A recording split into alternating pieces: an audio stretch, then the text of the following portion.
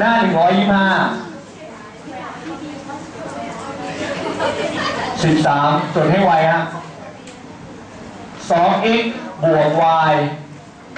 เท่ากับสามเรียกว่าสารที่หนึ่ง x บวก y เท่ากับหนึ่งเรียกว่าสมการที่สองน้องครับมาแล้วครับ เจอ y กับ y ครับ ถามตัวเองว่า y กับ y บวกกันหรือลบกันแล้วหมดตอบ y บวก y ได้ 2y ตอบลบ y ลบ y หมดไป เอาสมการที่ 1 ตั้งลบด้วยสมการที่ 2 เด็กๆเซนิคอลอนคือจะได้ ซ้าย ลบด้วยซ้าย นี่คือซ้ายลบด้วยซ้ายนะ เท่ากับขวาลบด้วยขวาครับเด็กๆ กระจายเครื่องหมายลบกลายเป็น 2x บวก y ลบ x ลบ y หน้าเว็บใดมีเครื่องหมายลบตัดวงเล็บออกแล้วเครื่องหมายเป็นตรงกันข้าม y ลบ y หมดไป 2x ลบ x เหลือ x เดียวเท่ากับ 2 เย่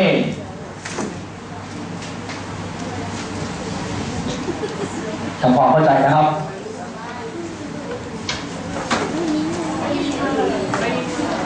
แท น x เท่ากับ2ลงไปในสารที่1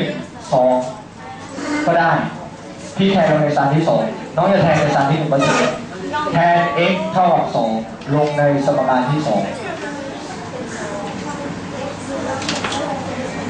จะได้2บวก y เท่ากับ1เย้เย้ y เท่ากับย้ายข้าง 2 ไปทางขวาเป็นลบ2เย้เย้ y เท่ากับลบ1 เย้เย้คำตอบข้อนี้ตอบคู่กับ x 2 y ลบ1ช้อยไหนคำตอบข้อนี้คือช้อย4ซึ่งน้องเพื่อนของเราบางคนเนี่ยเขาเล่นคลิก choice เลยนะ ซึ่งเวลาข้อสอบแสดงวิธีทำเนี่ยมันไม่ได้ไงแต่เวลาข้อสอบ choice มันมีข้อเสียตรงเนี้ยเนาะบางคนเขาเอา choice ทีละ choice ไปเช็คเนี่ยเนาะ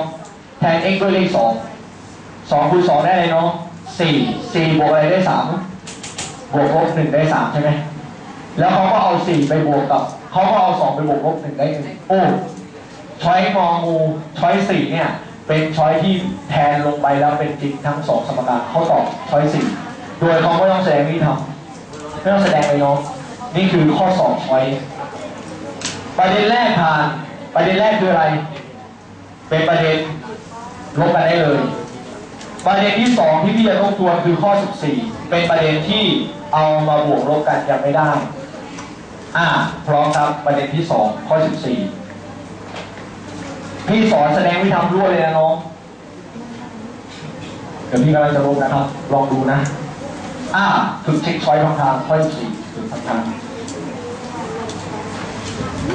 ทำความเข้าใจนะครับ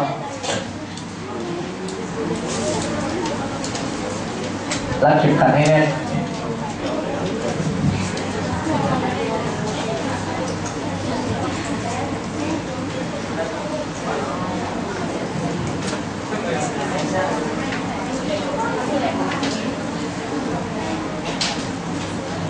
ประเด็นที่สอง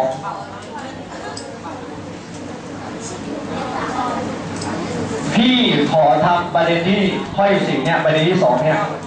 พี่ขอทำ เปลี่ยนสมการเดียว สัปดาห์ที่แล้วน้องเจอแล้วครับ เปลี่ยนสมการเดียว เปลี่ยนเพื่ออะไรครับพี่ เปลี่ยนเพื่อพอเอาสมการมาบวกลบกันแล้วเนี่ยตัวแปรหายคืออย่างนี้ครับน้อง ถึงแม้ว่าน้องจะเอาสมการมาบวกกันหรือเอามาลบกันเลยเนี่ย ตัวแปรยังไม่หาย น้องครับ ถ้าเอามาบวกกัน 7x บวก 2x โอ้เออ 9x ถ้าเอาลบ1ไปบวกกับ3โอ้เออ 2y ถ้าเกิดน้องเอามาลบกัน 7x ลบ 2x ได้ 5x ถ้าเกิดน้องเอาลบ 1 ไปลบ 3 มันติดลบ 4 โอ้เออเอามาบวกลบกัน สมการยังไม่ตัวแปรยังไม่หายไป แบบนี้เจอแล้วสัปดาห์ที่แล้วท่านยังไงหาคอรนอของตัวเลขหน้า x หน้า y เตรียมตัวครับคอรนอตอนป .6 7 กับ 2คอรนอคือ 14ถ้าถ้าคุณจะกำจัด x ต้องทำหน้า x ให้เป็น 14 ทั้งสองสมการคุณต้องเปลี่ยนทั้งสองสมการเลย แต่ว่าถ้าคุณจะกำจัด y ตรงนี้เป็น 1 ตรงนี้เป็น 3 1 กับ 3 คอรนอคือ 3 คุณเปลี่ยนแค่สมการเดียว เพราะฉะนั้นกำจัด y ง่ายกว่า โดยการเปลี่ยนตรงนี้ให้เป็น 3 ให้ได้ พี่จึงถามน้องว่า 1 คูณอะไรได้ 3 น้องตอบพี่ว่าคูณ 3 พี่จึงนำสมการที่1คูณด้วย3เครื่องหมายเซมิโคลอนอ่านว่าจับได้ เวลาคูณต้องคูณทั้งสองข้างแล้วแจกแจงหรือเขาเรียกว่า คูณทุกพจน์คูณทุกพจน์สามคูณเจ็ด x ได้ยี่สิบเอ็ด x สามคูณลบ y ได้ลบสาม y สามคูณสามได้เก้าเรียกว่าสมการที่สาม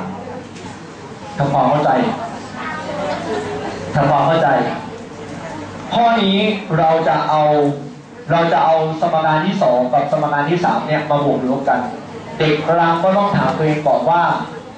3y ไปบวกกับลบ 3y แล้วหมดไปหรือ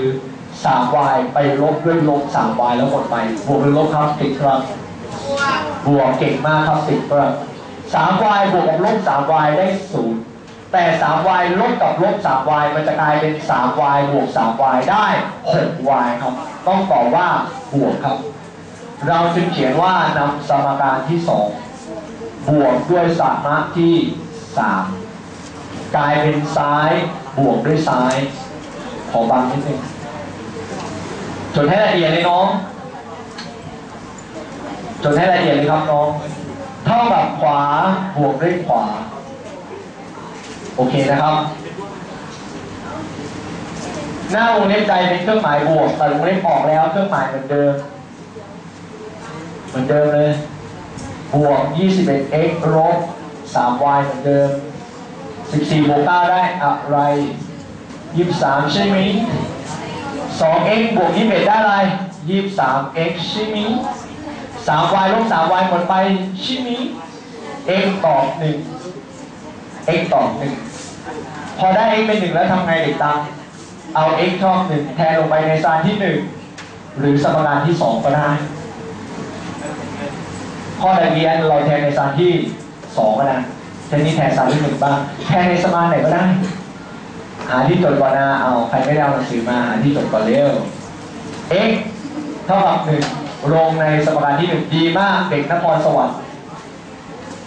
เจ็ดคูณ x คือเจ็ดคูณหนึ่งลบด้วย y เท่ากับสามครับผมเจ็ดลบ y เท่ากับสามครับเจ็ดลบอะไรได้สามอะ เออ y ก็เป็นสี่คำตอบข้อนี้ตอบคูณดับ x หนึ่ง y สี่คำตอบข้อนี้คือ choice หนึ่งเพื่อนเราบางคนเช็ค choice ครับพี่น้องครับ เขาไปเช็คปรากฏว่า choice แรกถูกเลย x หนึ่ง y สี่ x หนึ่ง y สี่เนี่ยน้องเขาเอา x เป็นหนึ่งเจ็ดหนึ่งเจ็ดลบสี่เหลือสามโอ้โอสองหนึ่งสองสามคูณสองเป็นสามคูณสี่โทษทีสิบสองสองบวกสิบสองเป็นสิบสี่เขาตอบช้อยหนึ่งเลย ไม่ต้องแสดงวิธีทำแต่ไม่เอาก่อนเพราะเดี๋ยวสอนเก็บคะแนนมันวิธีทำอ่า ตอนนี้ผ่านไปแล้วสองข้อนะ ข้อสิบสามไม่เปลี่ยนอะไรเลย เอาสมการมาบวกลบกันเลย แต่ข้อสิบสี่เปลี่ยนแค่หนึ่งสมการคือเปลี่ยนสมการที่หนึ่งให้มันเป็นสมการที่สามแล้วเอาสมการที่สองกับสมการที่สามมาบวกลบกัน ประเด็นต่อไปข้อสิบห้าเปลี่ยนสองสมการเดี๋ยวมันก็จะเกิดสมการที่สี่ขึ้นมา เรามาดูประเด็นต่อไป อ่ารีบจดนะครับ